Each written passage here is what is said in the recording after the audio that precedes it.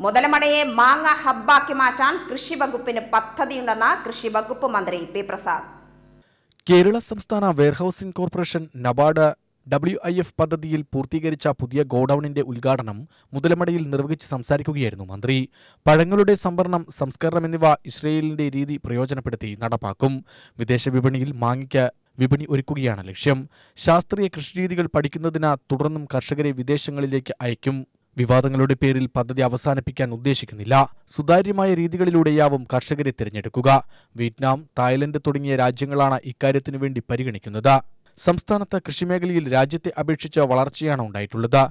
തദ്ദേശ സ്ഥാപനങ്ങൾ മുതൽ സമൂഹം ഒന്നടങ്കം കൃഷിയെ പരിഗണിച്ചു തുടങ്ങിയതാണ് ഈ മാറ്റമുണ്ടാക്കിയത്. ഇത് തുടർന്ന് നിലനിർത്തണം. കൃഷിയിൽ ശാസ്ത്രീയമായ പ്ലാനിംഗ് ഉണ്ടായാൽ മാത്രമേ മുന്നോട്ടു പോവാൻ കഴിയുകയുള്ളൂ. മണ്ണ് കാലാവസ്ഥ ഭൂമി എന്നിവ അനുസരിച്ച് വേണം കൃഷി.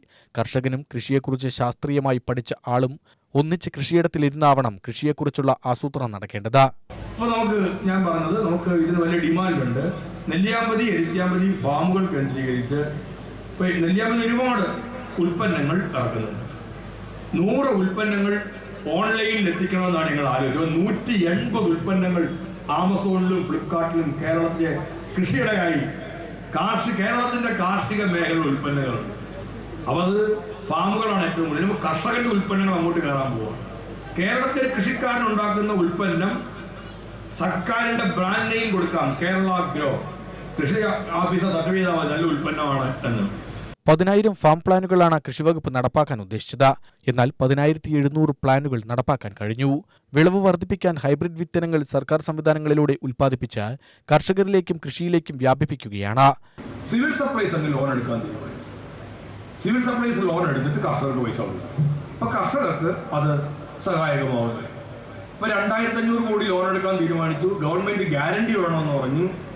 ഗവൺമെന്റ് ഗ്യാരണ്ടി കൊടുക്കാൻ ഗവൺമെന്റിന്റെ കടമെടുപ്പിനെയാണ് അത് ബാധിക്കുന്നത്. എന്നിട്ടും ഗവൺമെന്റ് ഗ്യാരണ്ടി കൊടുക്കുക.